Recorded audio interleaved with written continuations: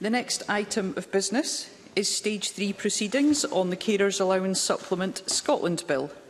In dealing with the amendments, members should have the marshalled list and the groupings of amendments. The division bell will sound and proceedings will be suspended for five minutes for the first division of the afternoon. The period of voting for each division will be up to one minute. Members who wish to speak in the debate on any group of amendments should press their request to speak buttons as soon as possible after I call the group. Members should now refer to the marshalled list of amendments. There are two groupings of amendments. Group 1 is increased amount of carers allowance supplement and I call Amendment 6 in the name of Pam Duncan Glancy, grouped with Amendments 3 and 7. Pam Duncan-Glancy to move Amendment 6 and speak to all amendments in the group. Thank you, Presiding Officer. Many people told us in the Social Security Committee that the low level of carers' benefits was not sufficient to lift carers out of poverty. And the Government have said that it could be some time before they consider the increasing the adequacy of carers' benefits. The amendments in this section attempt to help carers and provide them security until that time. I thank Maggie Chapman for lodging the first of these, Amendment 6, at Stage 2, which she sadly withdrew at that time, noting it was a probing amendment. I thought then, and I still do now, that it was the right thing to to do, that it was the right thing to do then, and that is why I move the amendment in my name today. I would, it would mean that carers uh, allowance sub, uh, assistance supplement would be calculated on the basis of universal credit and not job seekers allowance, and it would fix that rate of universal credit at pre-cut levels. Carers Allowance Supplement was brought in to recognise that carers do not have enough money to live on. It was doubled because of the extensive work of carers during the pandemic. The pandemic is not over. The government spent last week arguing eloquently with us and our colleagues across the UK that the pre-cut level of universal credit is not enough for anyone to live on. We should not accept less than that for carers either. With this amendment, we have an opportunity to use the powers of this Parliament and put money in carers' pockets by increasing by increasing the uplift to carers supplement, bringing it in line with pre-cut universal credit rates. And so I urge the Chamber to vote for Amendment 6 in my name. Jeremy Balfour's amendment in this, in this group, amendment number three, would allow the supplement to be paid every year at Christmas and until the carers assistance is developed. This goes further than, than, the bill as it currently stands, which only doubles the supplement this December. However, I believe that carers are not just for Christmas and that they should be supported 52 weeks of the year. And so I have lodged another amendment, Amendment 7, which will guarantee the uplift for carers stays in place until the new carers assistance is finally introduced produced by the Government. In evidence to the Social Security Committee, Engender said that any additional payments have been ad hoc and offer little certainty to individuals, failing to be an adequate response to the recipient's well-evidenced needs. This is in spite of 21% of carers reporting spending more as a result of COVID-19. Leaving the uplift at the discretion of regulation leaves far too much uncertainty for carers, uncertainty at one of the most difficult times of their lives we have a chance to make a hard time a bit better. We should take that chance, and I urge members to vote for these amendments. Thank you. I'm Jeremy Balfour to speak to Amendment 3 and other amendments in the group.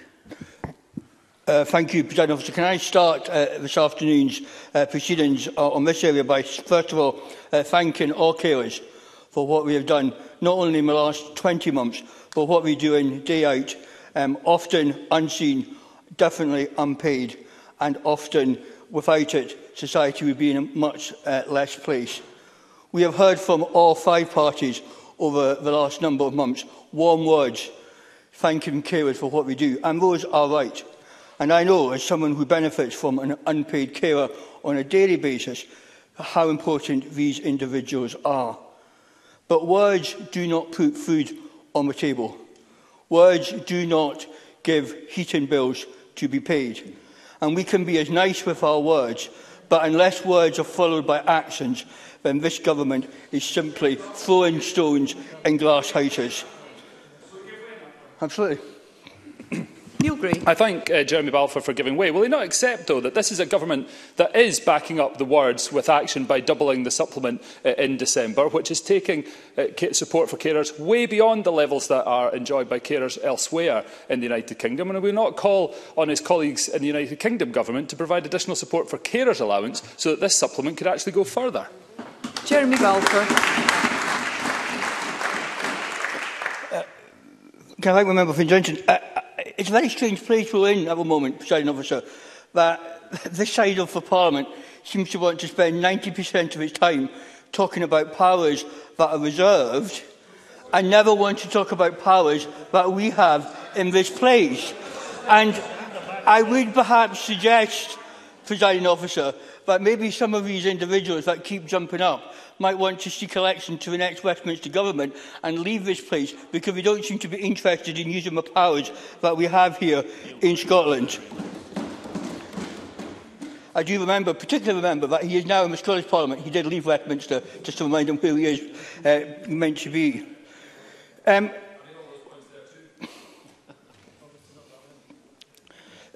Beside Officer, um, in committee, um, we had a good debate at stage two. Uh, Marie McNair added the comment that we do not want an ad hoc system. And that is what I totally agree with her. We do not want an ad hoc system. We do not want a system that is reliant on government ministers making a decision when they feel they can. What we want to give to carers is certainty. Now, you have two choices this afternoon in regard to that certainty. You can give that certainty in regard to doing it once a year with my amendment, or you can do it twice a year if you support the amendment already moved. And that's a choice that this Parliament will have to make in the next few moments. It's a financial choice. It's a financial choice that we are told by this government has to be taken seriously. It is, as Mr McPherson made very clear in the debate last week in Universal Credit, it's a political choice. It's a choice that you can either vote for it or you can say warm words but not give anybody any extra money. And that's a political choice that you will have to make in the next few moments. And there is no shortage of money. According to our Minister, Lorna Slater, in a tweet just a few days ago, she said there is no shortage of money. So the money is there, it's just to decide how you spend that money. And that's a choice that we have to make. And what we want to give it, sorry, I haven't got time. We, we, what we have to do, what we have to do is give that certainty to carers that they will know until 2025 that they will either get this payment doubled twice or once a year. That's a political choice.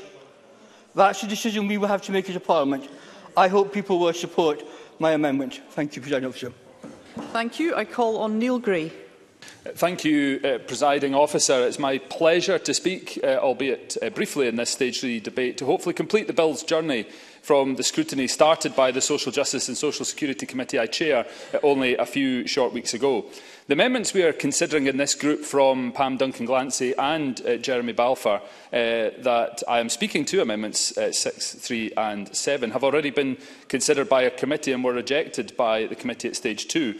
We heard substantial evidence from carers and from organisations representing carers about how welcome this bill is and how welcome this second double payment will be in December.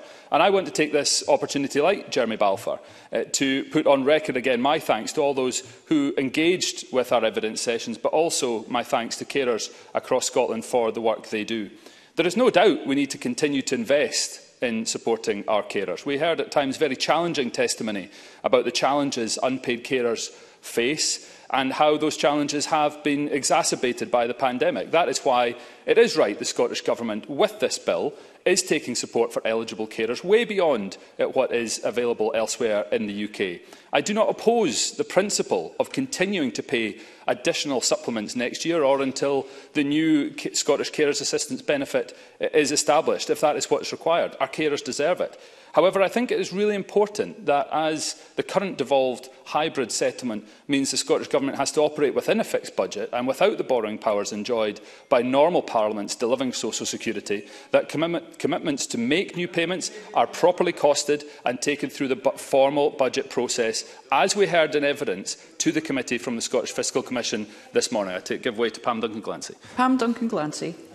Um, thank, thank you to, to my colleague on the Social Security Committee for taking the intervention.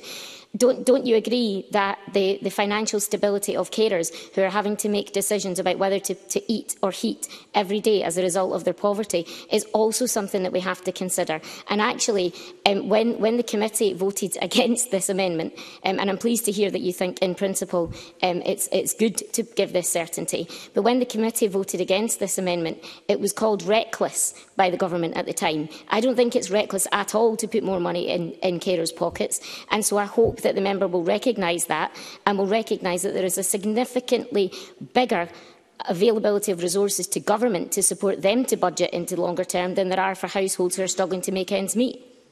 Neil Gray. I, I thank uh, Pam Duncan Glancy for that intervention. I absolutely take the point that she is making around providing certainty.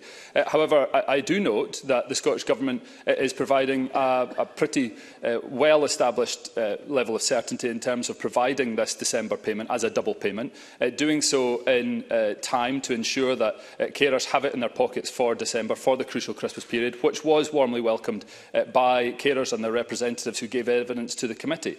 The difficulty that obviously we face, as, as uh, I've already outlined, is that this is a government government has to operate within a fixed budget. And to be able to allocate the resource means that it has to go through the appropriate budgetary channels to ensure that that is done in a sustainable way. And that is why I think it's important that if Labour, and this is the point I was going to come to, while I do not doubt the commitment of Jeremy Balfour or Pam Duncan Glancy to see payments to carers rise further, I've no doubt they will engage with Kate Forbes and Sean Robison over the coming months, uh, just as they will on other areas of spending, to ensure that there is a fully costed way to ensure that this can happen in future. Of course, I'll give way before I conclude. Jeremy Balfour. Uh, I, I, I'm grateful. Would you not agree that it's good to give unpaid carers certainty beyond just this one year? And would you recognise that a lot of the benefits that are now devolved to Scotland will have to be paid on an ongoing basis? Why should this benefit be different from any other benefit that has now been devolved? Neil Gray. Uh, my point is exactly that. This is no different from any other benefit. It has to go through the normal budgetary processes to ensure that it is sustainable uh, over the financial period that we're talking about. And I think that's absolutely right. But I do have to say that in the same week that we see a cut to universal credit impacting the same carers that we're talking about today, it's some cheek for the Conservatives to ask the Scottish Government to do even more to make up for that cut.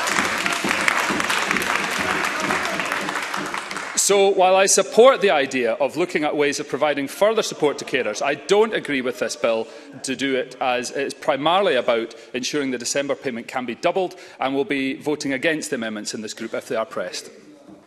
Thank you. I call on Minister Ben McPherson. Thank you, Presiding Officer, and thank you to uh, all members for their contributions on these amendments. And the Government shares the sentiment that members have expressed of both uh, the gratitude, uh, respect for uh, and recognition of carers all across Scotland. And it's from that sentiment and that place that we brought forward this bill to support carers and to provide the additional support that we intend to do if this bill is passed uh, in, in, in the months ahead um, for the festive period. And that's why we have brought this bill forward in an expedited process. But we must look to support carers, uh, and this government does want to support carers more beyond that, of course we do, but we must do that in a way that is both proper and responsible. Presiding officer, we have secured resource for a doubling of the December's carers allowance supplement, which is why we prioritise bringing this bill forward. Uh, this is the first programme bill to get to stage three in this parliamentary term uh, to focus on ensuring Uh, we, we the, the, the, sorry, I should have said this is the first programmed bill. Of course, we had emergency legislation uh, uh, just a few months ago um, to get to stage three in this parliamentary term. And we did this to focus on ensuring we get this double payment to carers in good time in December. As the discussions on this bill to date have emphasised, including this afternoon, we do have uh, political choices to make and financial choices to make too. Um, Jeremy Balfour cited the debate we had on the 28th of September, and I just asked him to recall this statement that he made. He stated, and I quote, The reality is that effective governance requires more than empty promises to shake the magic money tree and pay for anything and everything without consequences. Now, if that is true of a UK government with the full fiscal and monetary powers that he defended last week, then it is certainly true for a devolved government with limited powers. So we do have financial choices to make. And as I said at stage two, when we debated uh, for the first time these amendments, this government chooses to mitigate the low value of carers allowance through the carers allowance supplement to the cost of over £40 million every year. We've done that since 2018. With the additional payment, if we pass this bill today, this will add another £20 million of support this year. Presiding officer, we also choose to mitigate the bedroom tax at a cost of £17 million pounds a year. Uh, we chose to introduce the Scottish Child Payment and bridging payments to support thousands of children. Decisions and choices that will put £130 million pounds into the pockets of families in this financial year. And we chose to give everyone in receipt of council tax re reduction £130 to support them through the pandemic a payment which is rolling out to 400,000 people this month. Yes, I will take an intervention from Jackie. Would, Jackie Bailey. I know the Minister wasn't here at the time, but would he accept that it took the Scottish Government a year to mitigate the bedroom tax because they chose not to, and I quote, let Westminster off the hook. They were quite happy to keep the people of Scotland on the hook. Minister. I, I, I, I, I am, um, I'm not, I'm not, I'm not clear if that is uh, a, a, an accurate quote from, from Ms Bailey. However, um, what happened, uh, and I do recall it uh, as a citizen of Scotland, was that this SNP government took action to uh, mitigate that very poor uh, choice from a Westminster government. Uh, but uh, would it not be better if these decisions were not put our way? So, E? We uh, have political and financial choices that this government makes every year within its fixed budget uh, and limited powers. Um,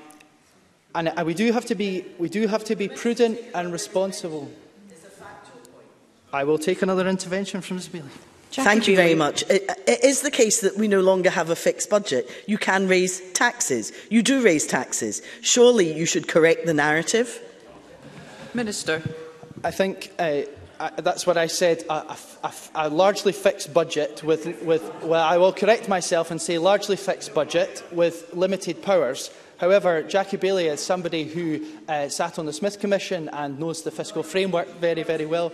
Uh, oh, well, I apologise.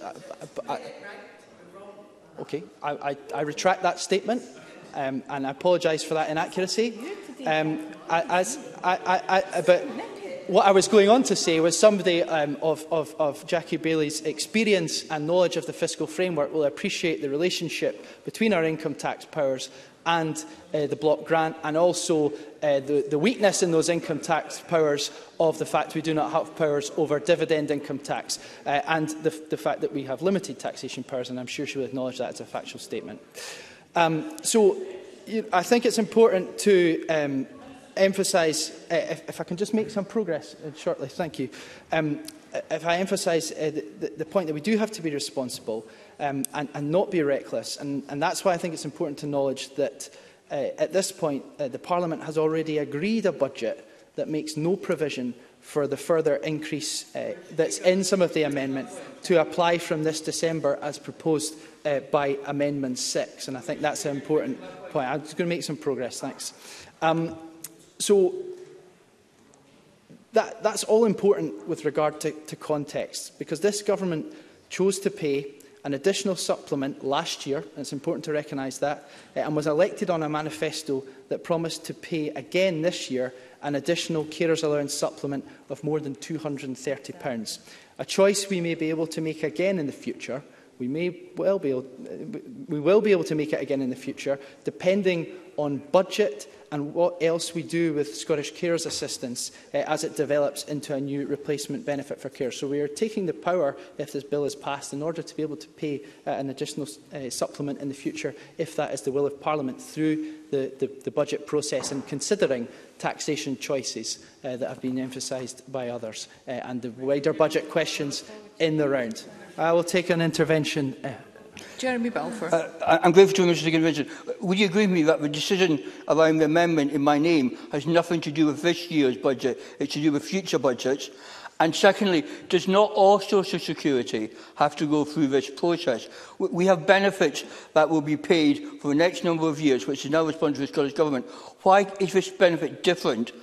from any other benefit? Are you saying that PIP is in doubt? Attendance and in these are all part of the negotiations presumably you have with the Cabinet Secretary for Finance every year. Why can this not, not be written in like all those other benefits are written in? Minister.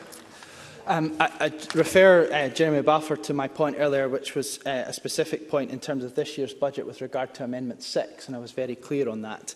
Um, with regard to uh, how we go about decision-making with, within the round, uh, there's an there's a important engagement here in terms of considerations around the fact that we already pay 13% more through the carers allowance supplement, um, which was the first uh, benefit we introduced in 2018 and considerations around whether we, whether we do a, an additional additional payment again in future years uh, need to be considered in the round th uh, with the development of Scottish Cares Assistance, uh, where we are looking at options for the longer term, which will increase our support for carers through our Scottish Social Security system.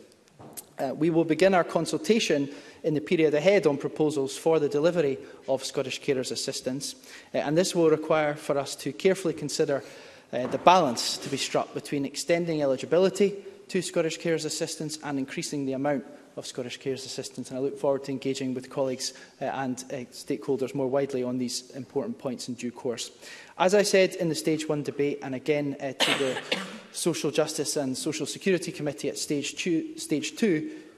future increases will uh, and should be considered in the context of the circumstances faced by carers uh, and the financial constraints we face as a devolved government. If we were to commit further resource uh, now for the future uh, and for future years, uh, we couldn't potentially utilise that resource uh, to support carers in other ways, uh, which is why I cannot support these amendments at this time, and I urge members either not to press their amendments, or if those amendments are pressed, uh, 6, 3 and 7, um, I urge Parliament to reject them. Thank you, President Officer. Thank you. I call Pam Duncan-Glancy to wind up and to press or withdraw Amendment 6. Thank you, Presiding Officer. Um, and let me deal with just some of the points that we've, we've heard so far. First of all, I agree with the Minister This is a political and a financial choice. What I am asking this Parliament to do is to make the political and financial choice to put more money in the pockets of unpaid carers across Scotland. Unpaid care, more money, more money again. We heard consistently in the, in the short time scale we had to consult on this bill. I will. Minister. I, I, I appreciate the, the, the, the position that Pam Duncan Clancy is advancing, but will she acknowledge that we, we are already intending to pay an additional additional payment with this legislation before us today. Pam Duncan Glancy. Um, thank you, President Officer, and thank you for, for, your intervention. Yes, I do. And as, you, as you'll be aware, um, you know that we think that the bill and the additional payment is, is necessary and essential because carers are already living in poverty. What we are asking the government to do is to go beyond warm words and words of support and suggestions that, that they support in principle the idea that people might just get money in their pocket and actually put money in people's pockets, doubling it continually until you have looked at the, the carers allowance um, in the round because people are living in far too much poverty. We've also heard a lot about, um, about the Scottish Government budget. There's 44 billion quid here with 21,000 civil servants at their disposal to determine how they might want to use this budget. And I would urge the government to consider that, that to contrast that with what you're asking households who are living with disabled people in them and unpaid carers in them who are getting less than £80 a week in some cases to, to to balance their budget and only have the people in that household to help them do it. So please, I, can, I ask you to consider providing that certainty. It is not fair to leave it to discretion and leave them wondering how they're going to cope next year. A third of carers have said they're struggling to pay utility bills. 47% of them have been in debt and half are struggling to make ends meet. In the last year, they've told us that they're undervalued, they feel invisible, exhausted and broken. They've worked 24-7 with no break. 78% of them said that overall all, the financial situation has got worse as a result of the pandemic. Uplifting the carers allowance supplement um, and doubling it at this point is the right thing to do. But the pandemic is not over. It will be the right thing to do for a considerable number of months and possibly years into the future. And so until you address the grossly under under-resourced funding for carers' benefits right now, please consider supporting this amendment and provide that certainty, supporting these amendments and provide that certainty to carers across Scotland. Um, Ms Duncan Glancy, for clarity, can I, are, are you pressing or withdrawing Amendment 6? Forgive me, Presiding Officer, I'm pressing Amendment 6. The question is that Amendment 6 be agreed to. Are we all agreed? the Parliament is not agreed. Therefore, there will be a five-minute suspension for the First Division of the afternoon.